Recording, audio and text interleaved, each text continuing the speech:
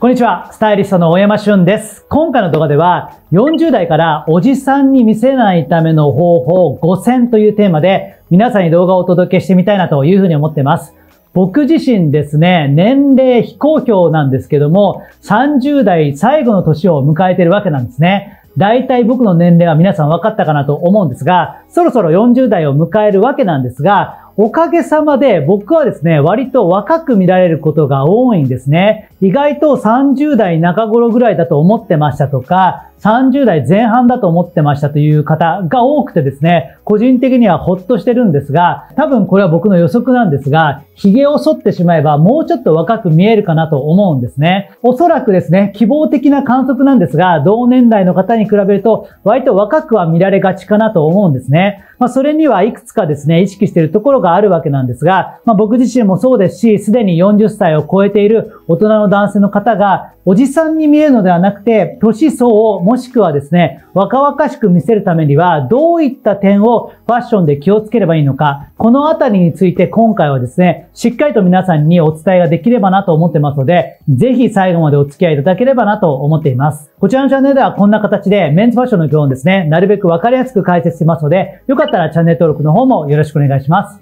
それでは早速行ってみましょう。はい、ということで、ここからは具体的に5つの項目についてお話をしたいなと思ってるんですが、まず1つ目、これが一番大事かなと思うんですけども、5年以上前の服は全部捨ててリセットするという項目ですね。かなりこう聞くと、まあ、エッジが立ってるというか、ちょっとそれ言い過ぎじゃないのと感じる方も少なくないかなと思うんですが、確かに言い過ぎています。まあ、これぐらいエッジを立てないとなかなか伝わらないところもあるかなと思うんですが、やはりですね、ファッションというのは緩やかに変化をしていますし、あとは自分自身も変化をしてるわけなんですね。そうすると、やっぱり5年ぐらい前に買った服というのは、今の自分だとか、今の時代に合ってないので、すごくおじさんっぽく見えることが少なくないんですね。まあ、5年経つとどう変わるのかというと、サイズ感も変わってきますし、デザインのバランスも変わってくるので、やはりこのあたりはですね、5年ごとに服を大きく入れ替えるぐらいでいいかなと思うので、5年前に買って大切にしてる服でも、意外と今のですね、店頭に並んでいる、まあ、安いんだけどもトレンド感をうまく反映している服の方が、おしゃれに見えるということも少なくないんですね。ですので、どんなに高い服でも5年ぐらい経ったらもう入れ替えを検討した方がいいかなと思っています。結構ですね、おじさんっぽく見える方って、物持ちが良すぎて、随分昔に買ったものをそのまま着てるってことが少なくないんですね。日本国内で売ってる服って、やっぱりタフにできてるので、着ようと思えば10年、20年って軽く着れてしまうので、やはりですね、自分たちが20代ぐらいに着ていた服だとか、そういったテイストの服というのを未だに着てしまうと、どうしてもおじさんっぽく見えるので、まあ5年がもう一つの目安ですね。まあ本当に早い人だと3年とか2年ぐらいで服を入れ替えるぐらいで、ちょうどいいかなと思うんですね。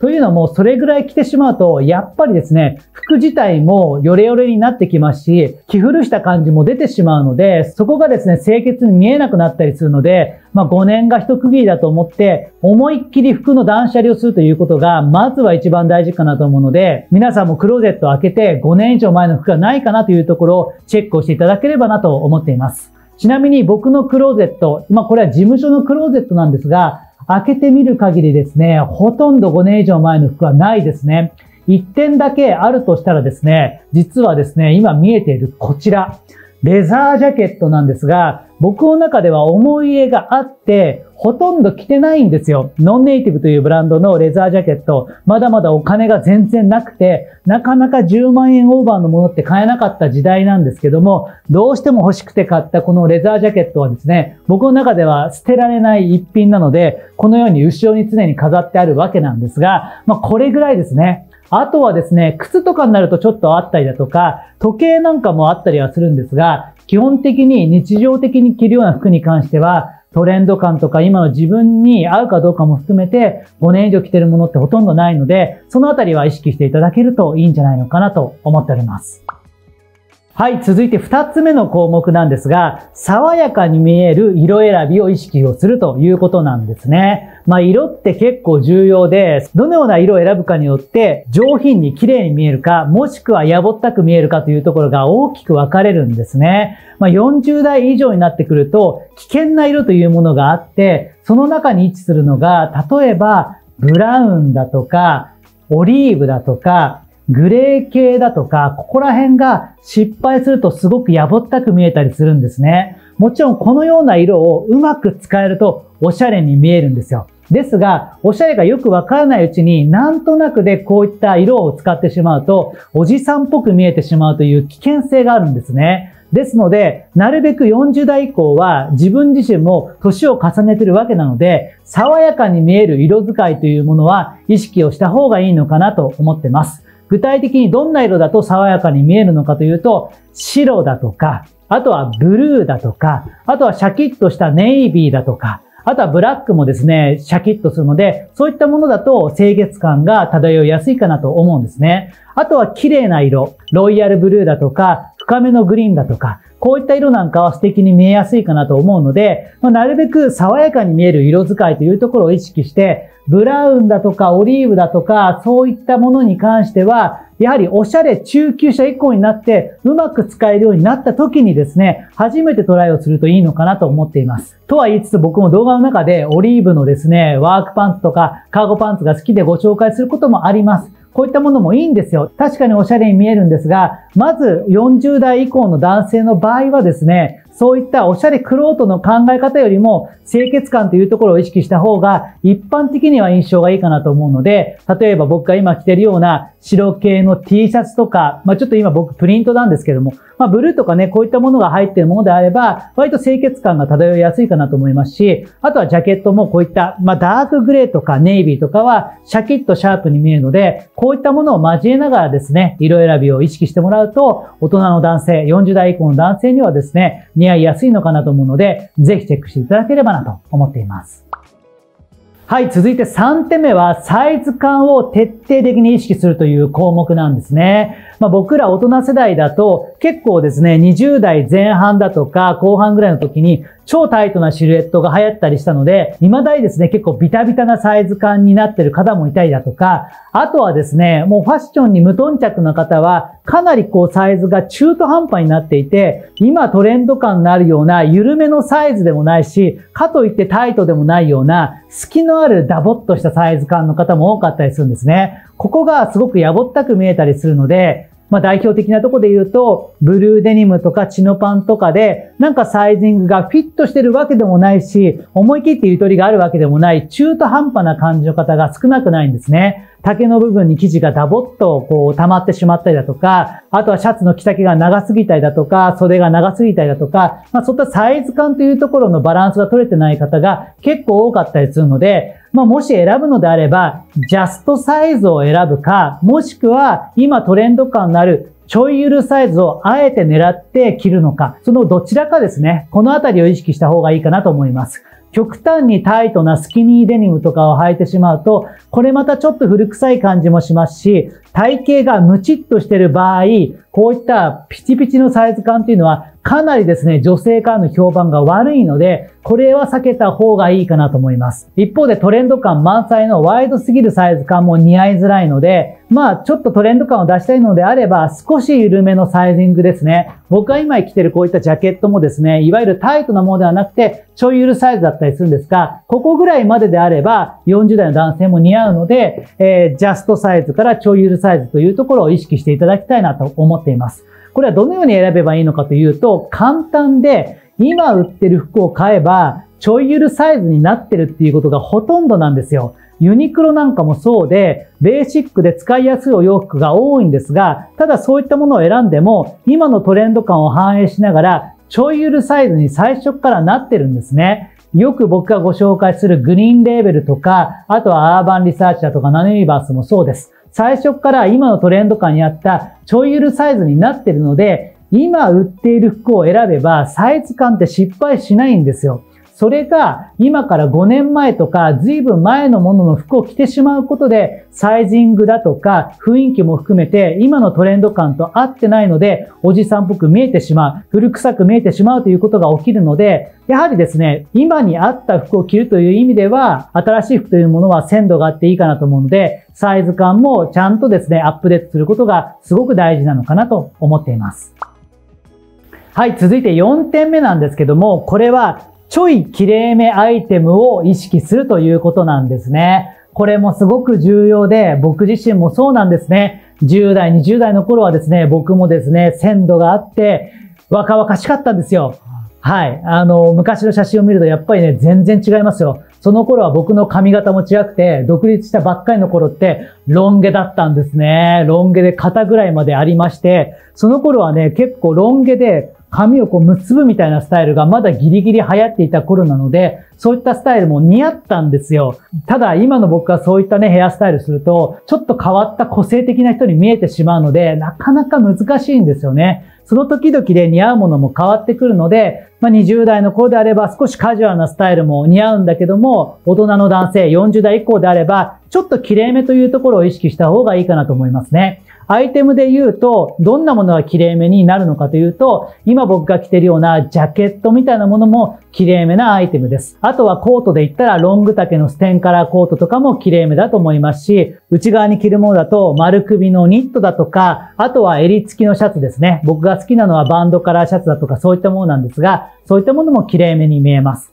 ボトムスもブルーデニムだとか、チノパンとか、そういったちょっとカジュアルなものもいいんですが、もうちょっと綺麗めなブラックのイージースラックスだとか、グレー系のイージーパンツだとか、デニムを選ぶのであれば、色落ちがすごくしてあるようなものだとか、古着っぽいものではなくて、リジットデニム、色落ちがあんまりしてないようなクリーンに見えるものを選んでみたりだとか、靴に関してもスニーカーですね、ゴテゴテのこうランニングシューズみたいなものではなくて、白だとかブラックのレザースニーカーだとか、あとは場合によってはローファーだとか、U チップのレザーシューズだとか、こういった大人っぽいものをですね、着こなしの中にちゃんと入れていただいた方が、40代以降の男性には似合いやすいんですね。カジュアル一辺倒のパーカー着たりだとか、僕が今着てるようなプリント T シャツですね。プリント T シャツ僕着てますが、ジャケットを着てることでうまくバランスをとってるわけですね。パーカー着て、プリント T シャツ着て、血のパン着て、そして、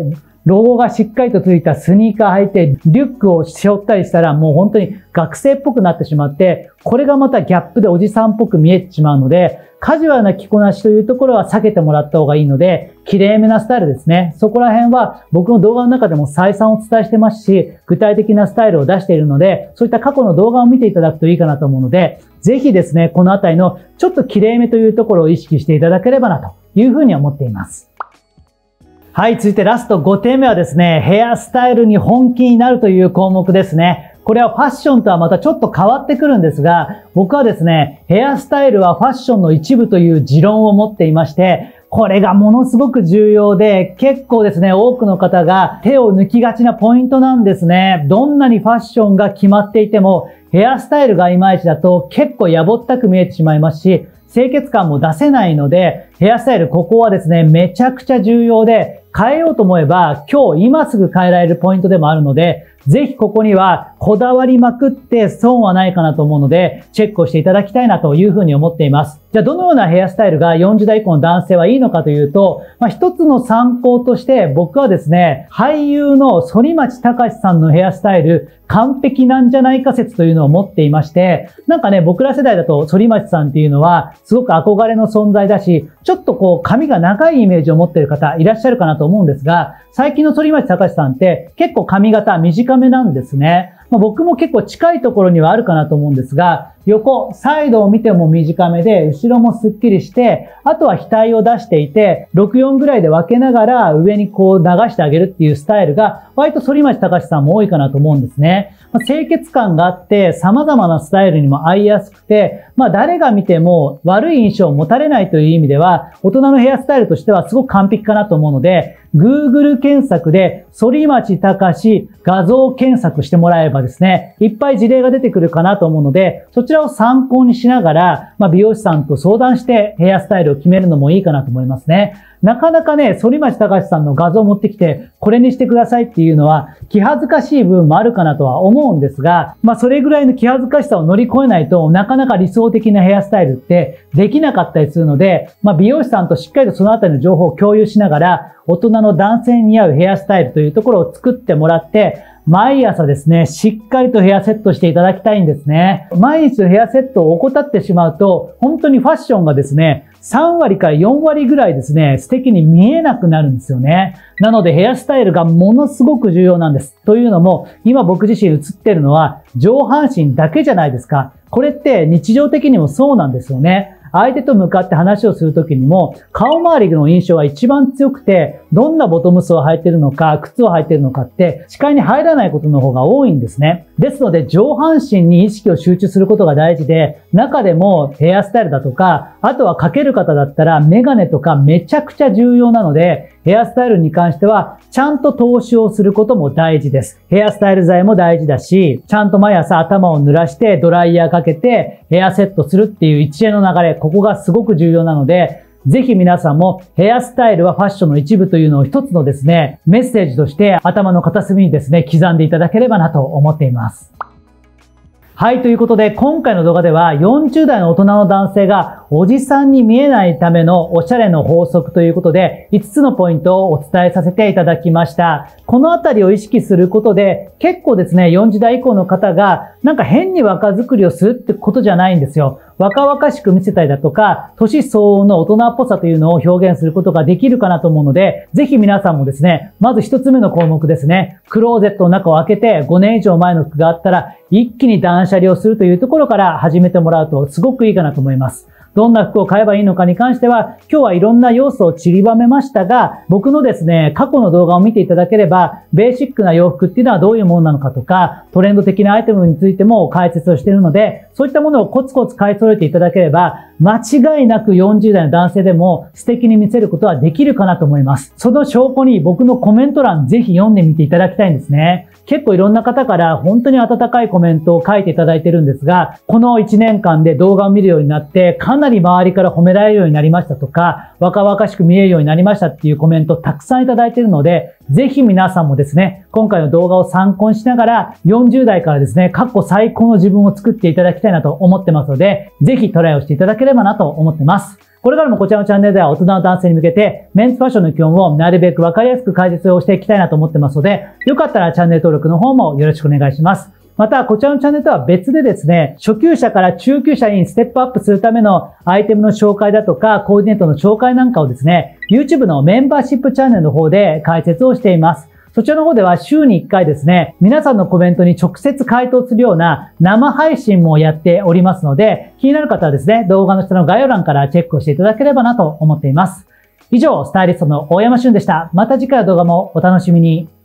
おしゃれ初心者から中級者へステップアップしませんか？限定動画では中級者向けのアイテムコーディネートからライフスタイルまで発信。皆さんからのご質問のほか無料動画では語れないスタイリストの本音もお伝えします。大山旬のメンバーシップチャンネル。